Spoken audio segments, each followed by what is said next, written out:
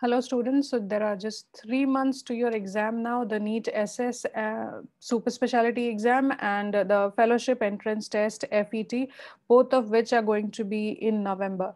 So a very common question now is what to prepare in the last three months, what all to revise, or if you're doing a first reading, what all to read, uh, where do we expect all the questions to be coming from?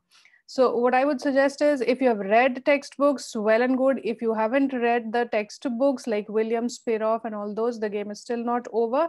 Uh, the last three months, you can make the most of it by reading all the guidelines.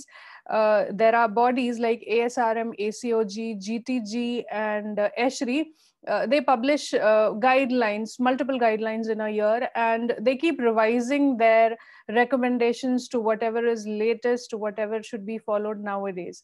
So, uh, what we'll see today is how to uh, know which all guidelines are there, which all guidelines you're supposed to read. If you're reading a particular topic, how to know what ACOG is saying about it, what RCOG is saying about it. If you're reading infertility, what ASRM is saying, what ESHRE is saying, and are there any Indian guidelines on it? So, there are are two ways. You can either start topic wise and see what all guidelines are there or you can start guideline wise. Uh, maybe google ESHRE guidelines and uh, read find all the guidelines and read them. So uh, i'll share you how i have been searching guidelines. I'll share with you. One second. Yes. Let me just share my screen to you. So this is safari you can open it on Google or whichever browser window you're using. So what I'll do is, uh, suppose I have to read guideline wise, I have to see what ESHRE guidelines are there, what ASRM uh, practice committee opinions are there. So let's start with ESHRE guidelines. The easiest to find is these ESHRE guidelines.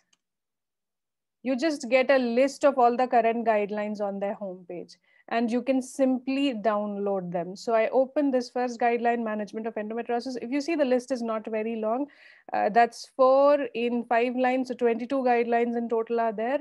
And suppose if I have to read management of endometriosis by ESHRE, which is an extremely important guideline, you've got you have uh, got multiple questions in the previous year's exams from this uh, article. So uh, look at this uh, option in the left side, right side, sorry, read the full guideline. And that's how easy it is to download this. Do you want to allow downloads? Yes, allow.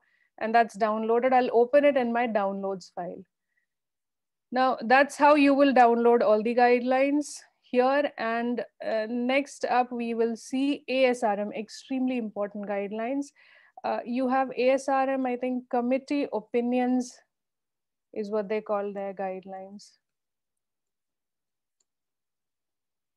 Practice committee documents.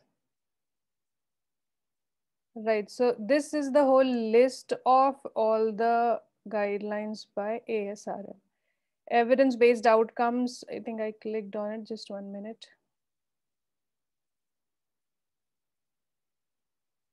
Evidence-based outcomes after oocyte cryopreservation for donor oocyte IVF plan, oocyte cryopreservation. That looks a complicated guideline.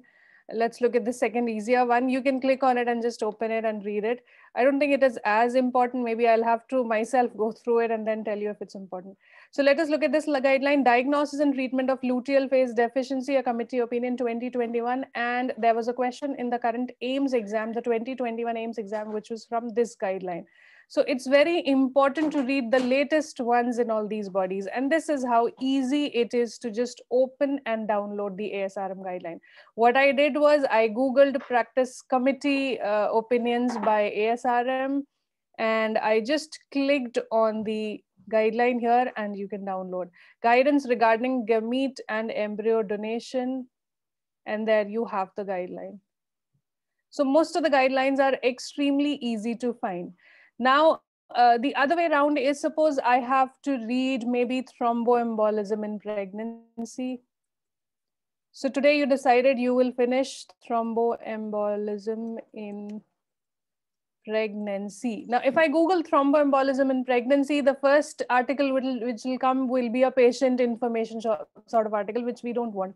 We want to read the relevant guidelines. So what I'll type is guidelines. Again, with guidelines, you may get a guideline which is from maybe Uganda or South Africa or one of the Asian countries, which we don't want, we follow American and European guidelines. So let's see thromboembolism pregnancy guidelines. And now I'll give you a very important secret, which I've been using. Just type G GFMER after this. And for all the topics, just write the topic's name, write guidelines, and type GFMER after it. You get a GFMER site where they have enlisted all the guidelines that have been published by important bodies on this particular topic. So look at this first option here, embolism and thrombosis in pregnancy guidelines review. So when I open this, what you get is Geneva Foundation for Medical Education and Research and they give you a list of all the guidelines which exist currently on this topic. Now, you don't have to read all of these guidelines. Look at this Arab states of Persian Gulf. We don't want this guideline. Australia, Canada. We, you don't want all these guidelines. Just look at Europe, United Kingdom, and United States of America. These guidelines and plus India and international. So just have a look at what, uh, how latest these guidelines are, are and we will see. Now look at this European guideline is European Society of Human Reproduction and Embryology. That's your ESHRE. So an important guideline, you might click it, open it. The other one is United Kingdom RCOG. So these are your RCOG guidelines. That's where you get both the RCOG guideline on thromboembolism in pregnancy. Then you have uh, USA, you have American Journal of ACOG, sorry, AJOG. Uh, ACOG is the green journal. The journal is called Obstetrics and Gynecology. You have an SMFM guideline. Look at this, very important. Amniotic fluid. So I was looking for thromboembolism, but what I've got here is amniotic fluid embolism, diagnosis and management. Now, this is a topic which you don't find in most of the textbooks. And uh, luckily you found it here, amniotic fluid embolism, uh, though you wanted to read thromboembolism, but you came across this important guideline. Anyway, what I'll do is I'll just click on these guidelines and I'll open them that's taking time. Let's see till then. I want to download this.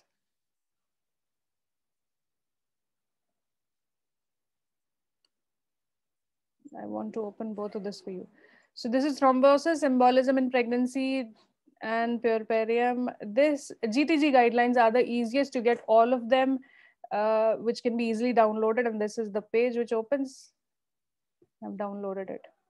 Now look at this AJOG uh, amniotic fluid embolism. It is an FM SMFM article. Let's see if I can download it directly. Yes. You have to look at the word PDF. See here, they've given PDF. That means you will clearly be able to download the PDF.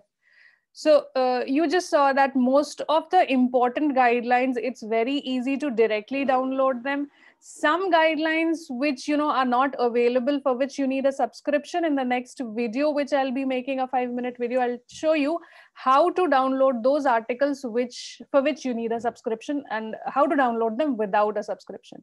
So i hope you understand how to read the guidelines. Now uh, there's a big list. All of these guidelines are these important? It's not important. I would suggest that right now don't go topic wise just go guideline wise and finish the latest ones because those are the ones which are most important. So finish the latest asrm guidelines the latest acog gtg guidelines. Similarly i'll tell you how to open acog just write acog practice bulletin.